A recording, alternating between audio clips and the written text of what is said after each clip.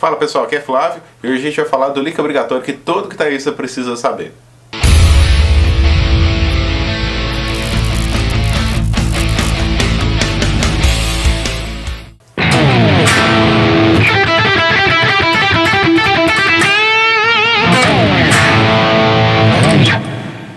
Bom, antes de mais nada, verifique a sua inscrição, ative as notificações e já deixe o seu like no vídeo.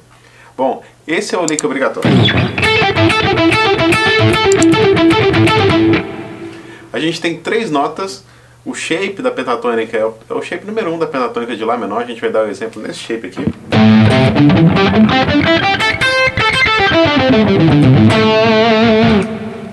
Então, particularmente, esses exemplos vão estar em Lá menor ou em Lá blues, né, que a gente pode aplicar isso também numa tonalidade maior. Isso é uma questão teórica que a gente vai explicar, mas basicamente a gente tem três notas. Próximo vídeo. Próximo vídeo. Próximo vídeo. Tô brincando. Bom, esse é o, o, cerne do lick central. A gente chama isso basicamente de micro lick de guitarra, né? que são grupos de notas que podem ser usados com frequência, mas que podem haver variações. E aqui eu vou explicar algumas variações. Mas basicamente nós temos essas três notas. Começa na casa 5 da mizinha e as casas 8 e 5 da corda Si. Elas podem ser feitas todas palhetadas, como está aí na tablatura. A gente vai sentir a rítmica de 3 em 3 notas, né? São as, a, a, forma tercinada, mas a gente pode agrupar isso de várias outras fórmulas rítmicas, outros agrupamentos, outras subdivisões rítmicas. Nesse caso, a gente está fazendo a tercina. Então, se a gente paletar tudo, nós temos duas palhetadas para cima para fazer a transição de corda. 5, 8, né? E a, a casa 5 da corda Si, a gente vai fazer a paletada para baixo, dessa forma.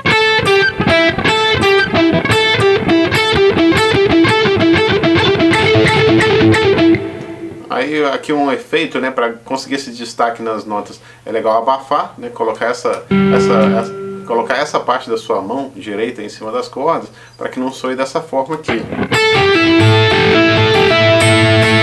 aí soa esse intervalo né, das cordas, principalmente com distorção, isso mistura, né, e o som não fica muito agradável de se ouvir, ou não fica muito nítido, né?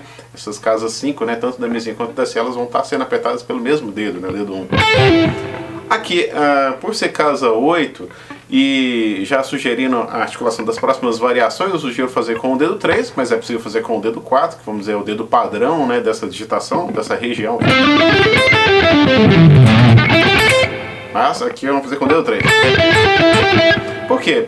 A primeira variação a gente já faz com o ligado, né? Então assim, a gente vai fazer um pull-off na casa 5, 8, né? Da corda C. Esse movimento 8, 5.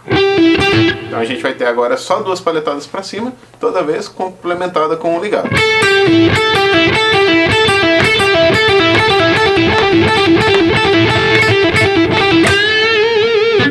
E aí aqui a gente aplica a primeira variação, que é a conclusão com um bend. Né? Aí a gente vai dar um bend de um tom a partir da casa 8 da corda Si, depois que a gente fizer essas três notas. Então é um micro lick seguido de um bend. E aí assim a gente tem uma nova frase.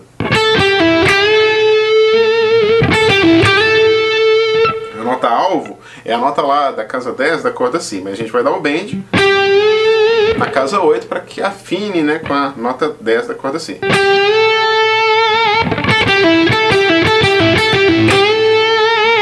Pode fazer quantas vezes quiser, né, dessa forma, esse, esse micro lick. E aí a gente vai parar no bend. Né?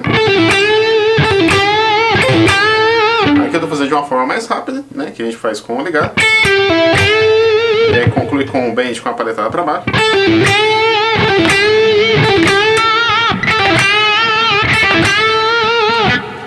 Bom, as próximas variações vocês mesmos já podem deduzir, vão ser notas tocadas em outras cordas, os bends né, de finalização. Uh, a partir desse micro lick, a gente pode dar um bend na casa 7 da corda Sol. Também um bend de um tom, né, objetivando a nota Ré é, viajando para a nota Mi, que está respectivamente aqui nas casas 7 e 9 da corda Sol. A gente pode é, eventualmente parar na própria nota é, sem o bend.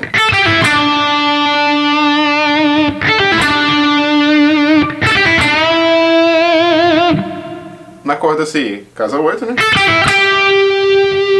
8 com bend. E na camisinha também vai dar na casa 8, que é dentro do shape da pentatônica.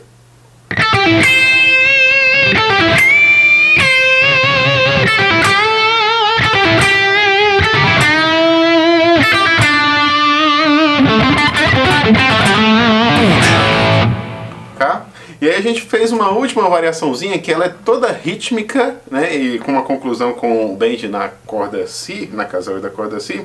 E aí vocês vão ver aí na tablatura. O som dele, dentro do, do, do um beat, né? Que a gente vai colocar aqui com os pés, vai ser dessa forma. Ele, vamos dizer, de, todos aí é o aspecto mais é, variado, né? Desse lick, que é, pode ter variações infinitas, né? Esse daí vamos ouvir como é que fica. 3, 4...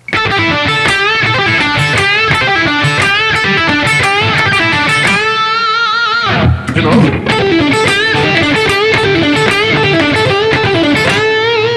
Fazendo bem devagar. Três, quatro.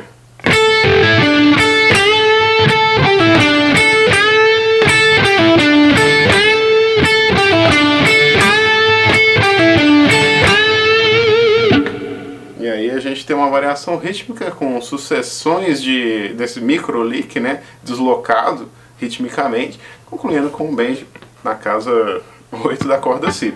Pode, poderia ser em qualquer outra corda.